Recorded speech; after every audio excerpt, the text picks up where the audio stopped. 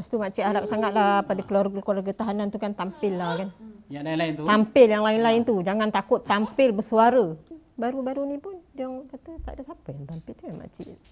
Rasa macam kenapa dia orang tak nak tampil kan sebenarnya. Kita ada badan-badan NGO kan. Hmm. Kita pun ada hak kan. Kita ada hak untuk bersuara. Kisah dia ditangkap 15 Julai 2010. Dia mengajar budak-budak tuition dekat Ampang. Ha, tu yang masa dia tangkap tu. Hmm. Dia nak naik motor balik. Masa tu lah dia digari lah kan. Bawa kat sini.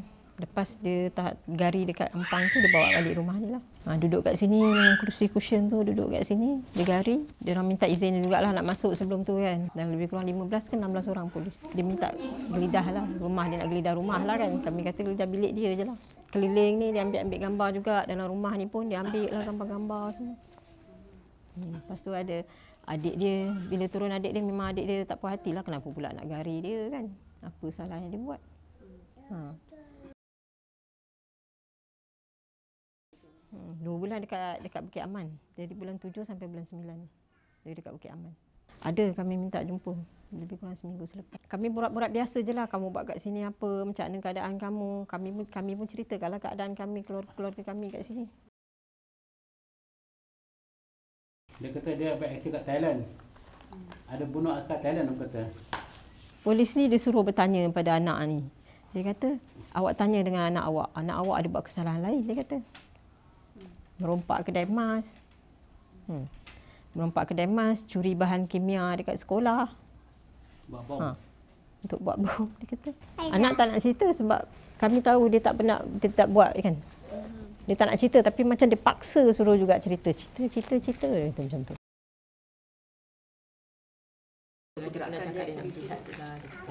Tapi kita pun sama-sama juga, kita pun apa? Sebab dia bukan nak cerita semua kat kita. Memang dia cenderung dalam agama. Ha. Dia pun tak ada kata terus terang keluarga tak adalah. Fazlullah ni banyak berdiam diri. Tak pernah cakap. Ha, tak pernah cakap. Kalau satu ke satu jawab dia. Duduk makan, mengaji. Nasihatkan adik-adik dia kan. Dia Tazkirah, tazkirah lah namanya kan. Nasihatkan adik-adik. Haji solat memang tak tinggal. Puasa Isnin Khamis kadang nasihatkan adik-adik dia kan. Hmm, macam tu. Gelayah memang tak ada lah. Kami sendiri pun. Tak ada kami boleh boleh macam boleh tanya dia kata anak encik saya kata anak saya tahu. Ha. Masa kat sana pun ayah dia kata kenal dengan anak dia kan yang makcik kata tengoklah macam tu makcik ada muka perompak ke kan. Kami didik anak macam mana. Atuk dia satu benda kecil pun tak bagi. Untuk an- makcik lah kan dengan adik-adik ngajar macam tu. Macam tu juga makcik ajar anak-anak makcik. Satu harta orang jatuh bawah pokok, bawah biji mangga pun tak boleh nak ambil. Ini kan pula kata nak merompak kan. Ha. Jadi pun kita tengok dari cara dia solat. Boleh kata lompat pakai parang boleh kata. Pakai parang. Dalam 30 orang kawan-kawan dia 30 orang. Kalau dia kata kes Tapi kalau betul ada kawan-kawan dia kenapa masa 40 tu tak bakal Lagi satu kalau kita kata kalau dia ada pun kenapa polis tak kes tak tak siasat dia. Lepas tu bila kami pergi kat sana dia suruh kami pula tanya kat dia. Itu poin dia besar tau. Dia nak kami curiga dengan anak kami kan. Dia nak macam tu eh. Dia suruh kami tanya depan depan polis macam ni kan.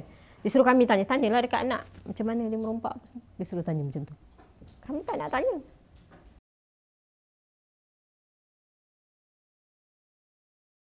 Jadi tu dia kata dia orang ni banyak dah mula buat berkot lapar. Dia pun baru buat kata hari minggu dia buat. Ada yang dah buat dia kata dan akan lebih ramai yang akan menyusul dia cakap macam tu.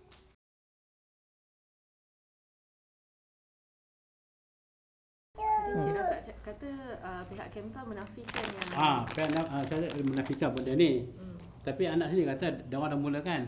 Dia pun tadi uh, operator dengan Kemta. Jadi dia sampai berpejabat. Pejabat kata, eh benda ni tak betul. Kami uh, benda tak betul. Apa itu macam mana? Dia benda saya dapat banyak maklumat kata macam ni.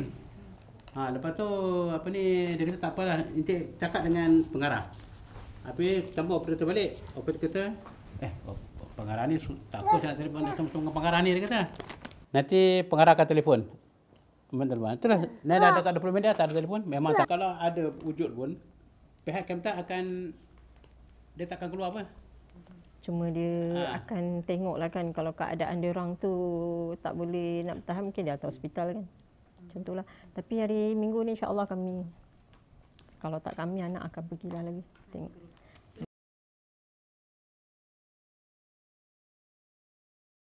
Surat-surat yang yang lalu tu kan ah, dia ada tulis lah kan harapan dia orang ni tinggi lah nak keluar sebab Menajib dah kata masuk ISA tu maksudnya memang masuk lah. Seterusnya dia kalau gubal latar yang baru, dia kena tahanan yang baru kan.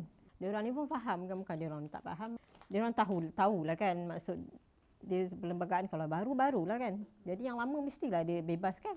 Dia orang memang dah yakin dia orang boleh keluar, memang dia tekad nak keluar dah kan. Tapi tak juga-juga lagi. Surat sebelum anak tu ada dia cakap. Pasal bila akta ISA ni bila kata nanti kita nak hapuskan, masuk. otomatik yang mana macam kata pihak suaram, dia orang akan dibebaskan. Ha, jadi dia orang tutup itulah tu. Perjanjian Najib janji nak masuk kan. Tu dia orang tunggu-tunggu. Tapi sampai sekarang tak bebas.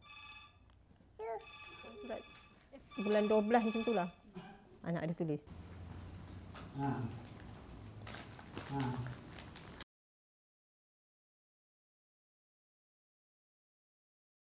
Apa yang dia uh, cakapkan tadi masa dia telefon? Ah, dia kata tadi dia suruh adik dengan uh, suami dia datang- datang. Dia kata nak bagi benda apa dia kata entah. Ha, dia, dia telefon dari apalah dari apa pejabat. Jadi kalau dia orang dapat tak datang-datang suruh telefon pejabat balik lah. Pasal benda ni dia jangan dah lama dia, cakap tak cakap telefon. Dah lama ha, ni baru tahu. Siapa tak sangka dia cakap telefon sini?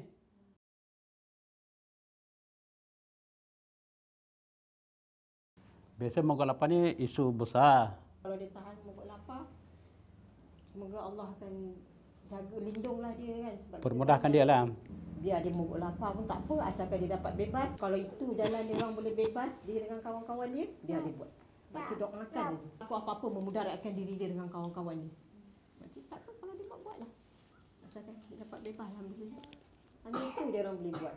Kami mesti juga nak tengok dia bebas sebab dia memang tak buat kesalahan. Lagipun dari kata Datuk Imam tu dia nak berharap sangat benda tu. Bukan dia je kawan-kawan dia yang lain dalam tahanan tu. Itu jalan terakhir bagi mereka semua kan. Semua dalam tahanan tu kan. Pun naklah dia bebas kan.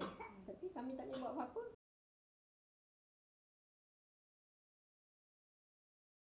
Berlaku pada bulan 2 eh bang? Berlaku ulang balik cerita yang sama bulan 2 ni. Bila dia dah balik ke baru makcik cerita tadi bulan 1 kan yang makcik kata surat tak sampai tu kan. Bulan 1 beramai-ramai dia orang pergi daripada Kemta ke Bukit Aman. Lepas tu bulan 1 tengok makcik dah habis bulan 1 surat tak sampai-sampai. Adik dia pun pergi kat sana dia tak ada. Lepas tu mana nak pergi balik ke Bukit Aman. Tu yang makcik kata eh baru balik daripada Bukit Aman buat apa dia bawa ke Bukit Aman lagi. Ha. Eh makcik tak puas hati lah. Kenapa pula nak buat kes kerompakan bukannya anak makcik tu merompak. Kalau nak buka ni, kenapa tak buka masa hari mula-mula tu kan? Ha, ha. Ini mula-mula kita apa ni yang kami Datuk dah, Datuk Japan kata sendiri. Kami tak sabit benda tu. Nah, kami hantar anak masuk 2 tahun kat SA je. Ha. Tapi sekarang ni saya kata kata kata pegawai wanita tu. Dulu kata tak nak sebut, kenapa nak sebut? Ah, dulu oh, pengarah atas tu suruh tarik uh, suruh sebut kes tu balik.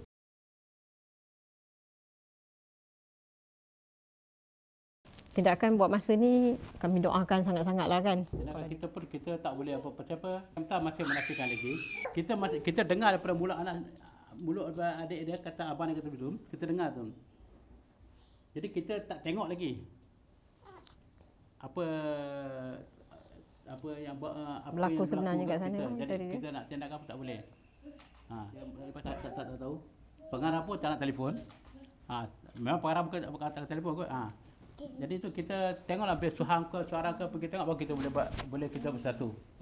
Ha, sekarang ni kita nak cakap pun lebih-lebih pun takut benda tak betul. Kita nak tahu juga kan. Kita nak tahu juga apa sebenarnya. Selama hampir 2 tahun lah bulan 9 nanti hampir 2 tahun kan. Makcik nak makcik kuat. Nak dia pun kuat. Hmm. Hmm, Menangis tak guna. Doa je terus. Pandukan Al-Quran, Sunnah, makcik doa-doa terus. MilitiaKini.com. What a militia you need. What a militia you need.